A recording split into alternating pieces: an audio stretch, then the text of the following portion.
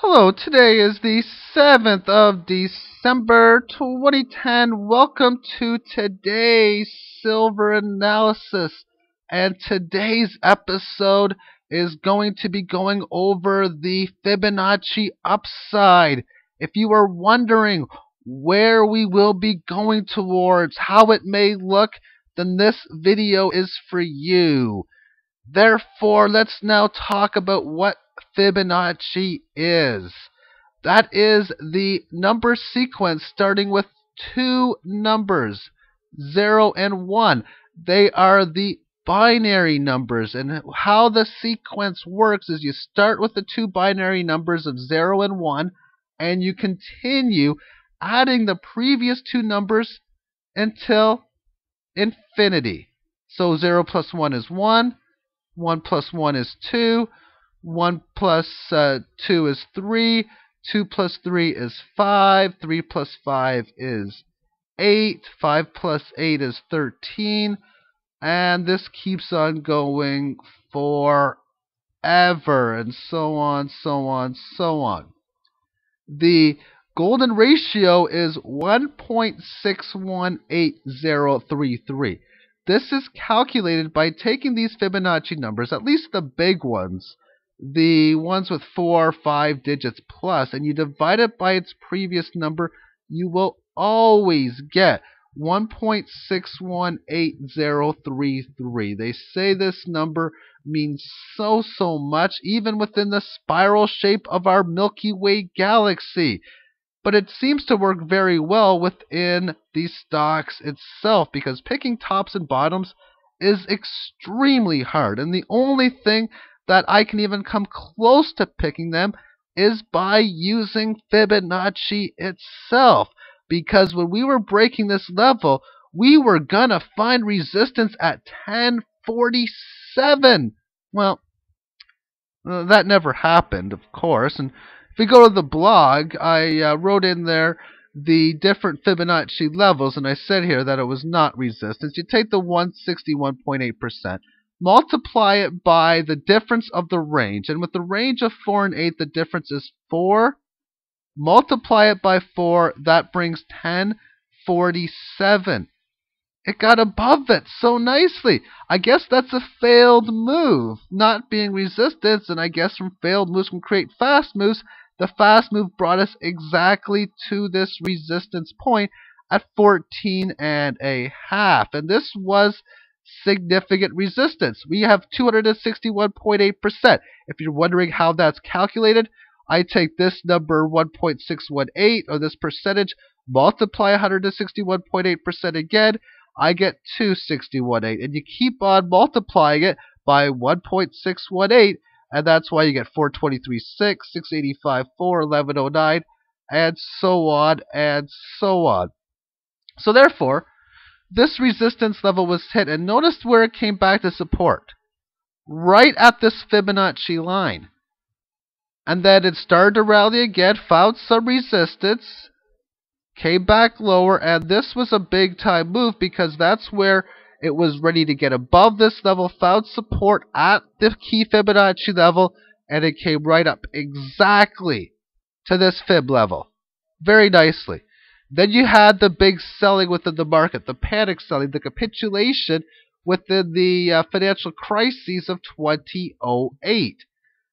And from that point on, it managed to bottom here, which Fibonacci didn't say it was going to because it was in between this level and this level. Came up to this point here, found resistance at the Fibonacci, managed to make a higher uh, higher low, battled with it with a pierce above here, that strength. And then this is where it managed to break above this level. And it's now gotten well above this level here. And look at where we're at now. We're at the 31 and a half level. Or at least from the time of the recording of this video, it is only about 3% away from reaching. So we've had some really, really big moves. Now the question is, is this going to be a level of resistance? I don't know. But I did put on the blog four different possibilities that may happen, and I want to go over each and every one of them right now. Possibility number one is that this level is resistance, and we continue to go lower. It will look something like this if this happens. Maybe we have, I don't know how many hits we would have there, maybe one, maybe two, and then the net result may be coming back to that key Fibonacci level, and then maybe able to get above it. Something that looks like that, where it's resistance like it's supposed to, it comes back down, maybe towards this Fibonacci level, and then that's where we find support, because this is where support happens to be. 21. That is long-term support. And that's because a lot of times previous resistance becomes support on the breakout. For example, we had this major resistance at 8, and it, it never was support. Why was this? It's because it got above this Fibonacci level. That's why it was never support. Meaning, if we get above this level here, and it becomes a failed resistance test, then the fast move should result in a move up to the 48 handle. Say something like this. There we go. That would be a move. And now the support would no longer be 21. I will now be saying if the chart looks something like this, that 31, 32 would be that significant support area if it rallies to some sort of degree like that. So that would be what a failed move would look like. So what I'm saying is if this is not resistance, watch out for much, much more strength, bringing it up to the 48 handle based on a, uh, a failure of resistance at a major Fibonacci level. So that was the second thing that could happen. The third one is that we consolidate through time at this level. And that would probably look something in the area of like this. And then it's able to move higher. Where it just, in, in, in or around the area of 31, it just continues in a sideways, sideways range, something in that neighborhood, before it goes higher. And the fourth one that I was talking about is that 31.5 isn't resistance but more towards the area of support. And that one looks maybe something like this. And that's where you have a few tests of this level before finally making it up towards this uh, 50 handle approximately. So those are the four areas you can vote on which one you think will happen on the uh, silverlog.blogspot.com. Now to finish this video off, I want to uh, do two things. I want to talk one about two trend lines and two talk more about parabolic gains. So these are trend lines to uh, look at now that we are going higher. They could now be potential. The first one is I want to connect these three tops. So to do so, what I'm going to do is I'm going to connect uh, the best. I think this is the best I can do for that. This would be one in here. So breaking 31 if we get up to 48, we're going to have to violate this trend line. Therefore, that could mean maybe, like I said, maybe move up towards here before it finally takes it out. Maybe we find a little bit of resistance there. But the second trend line that I want to bring out or talk about is the one that connects the first two highs. This one in here. Now, this one's important because what this tells me is that the move from this area to this area was not as was more sorry the, the move from this area to this area was more productive or better gains than the move from this area to this area because it never came up to this point in here. So if we have any parabolic gains, these are going to be areas where we may encounter some levels of resistance.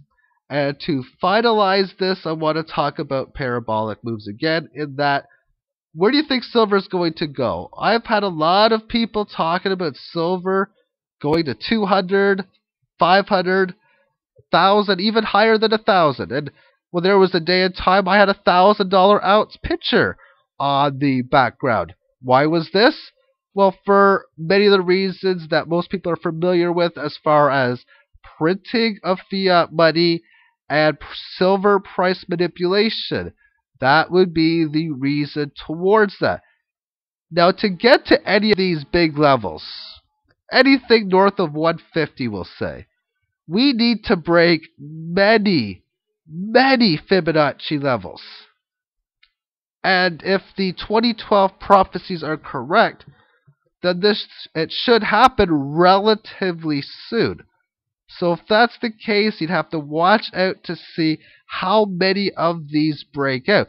For it could be potentially possible where it just breaks a bunch of them at one time. Now, if that's the case, if we had a chart that looks anything like this, that would be parabolic and the after moves would just be sick. You could have moves that look like this.